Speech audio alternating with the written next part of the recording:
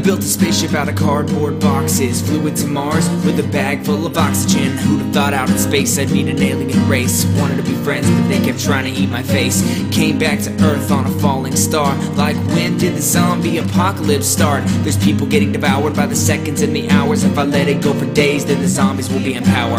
I've got my baseball bat prepared for zombie facelifts. Cruising in my latest cardboard spaceship. I built it with one of the greatest defenses. A cardboard death ray is what I'm talking about, bitches. I take back the streets from Florida to DC. I feel bad for the zombie who tries to eat me. After that, for a snack, I had a burger with fries. I once killed a cybernetic demon ninja samurai.